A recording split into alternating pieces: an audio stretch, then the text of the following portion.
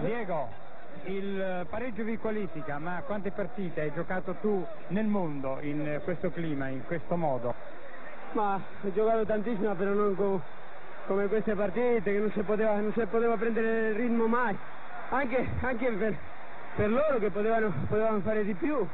Eh, era una, una partita strana.